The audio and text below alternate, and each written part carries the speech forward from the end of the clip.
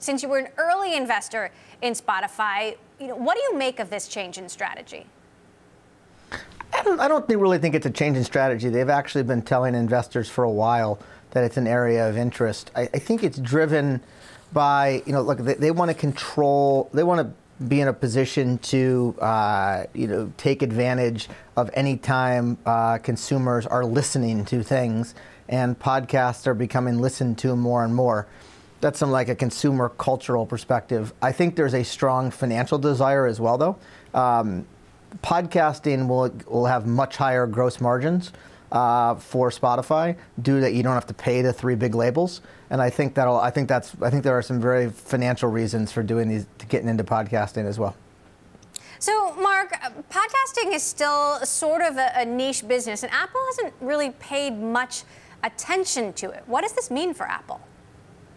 You know, for Apple, you know, this might indicate that Apple Music, the core of the functionality, is not the only thing that they're up against in terms of competing with Spotify, who's obviously number one in the streaming category, and podcasting is there too. Over the past couple of years, they've really tried to position themselves as being at the top of the podcast market, which I believe they are. They renamed their podcasts app just to Apple Podcasts from iTunes Podcasts. They've been pushing it heavily on social media. They've been asking content creators to push it more heavily. So this could just give them another opportunity and another reason to continue to invest in the podcasting app. Mitchell, how big of an opportunity do you think this is for Spotify in particular? I mean, when you look at the economics of podcasting, yes, a lot of people are listening, but it's not a huge slice of the advertising market. I agree. Uh, it's still early. Um, although I do think it's it's, it's still early, no, uh, no, question about it. Nobody has made a lot of money uh, in the U.S. at least. In China, people have been way more successful uh, monetizing podcasts uh, across Alibaba and other platforms, and then uh, Tencent and other platforms. But I, th- I, think it's a big opportunity for them. I, they've got the users.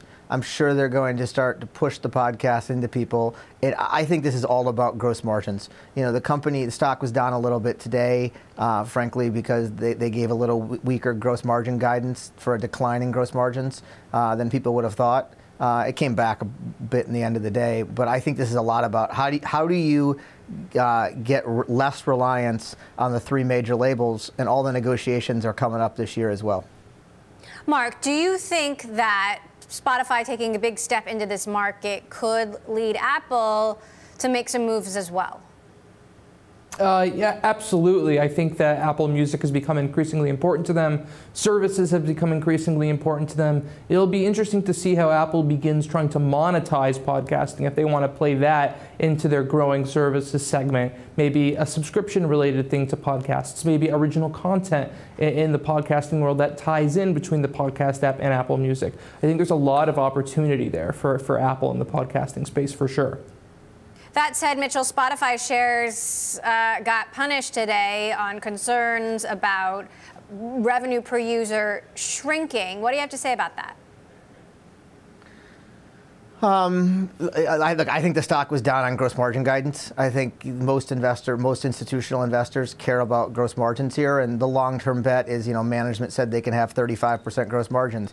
I think they had like um, like 25.7 this year, and now they're guiding to you know to you know 23, 24 uh, next year.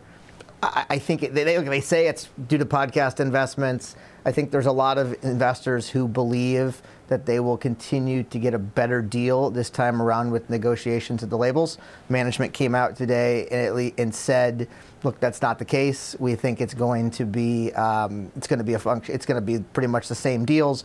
They also did note that part of the reason gross margins are declining, though, is um, they're entering new markets, and oftentimes you have like big upfront guarantees that have a negative gross margin. Like India is the big market they're going into, so that's some impact as well. Look, the stock ended was down like six or seven percent pre-market, and it ended down two percent. So there's clearly buyers in there buying the stock, taking advantage and of weakness. Mark, you know, give us an update on the, the competition be, between Spotify and Apple in music. I mean, Spotify is still in the lead when it comes to paid users, but Apple Music is number two. Yeah, Spotify is definitely in the lead, but Apple has had some very strong momentum with Apple Music lately. And the one thing that cannot be forgotten is this user base of iPhones. Apple said there's 900 million iPhones in use. They said this on their earnings call uh, at the end of January. And the thing about that is that Apple Music is built into all those devices if you're on some of the more recent software updates. Apple Music, I mean, it came out starting in iOS 8.4, which was, I believe, 2015.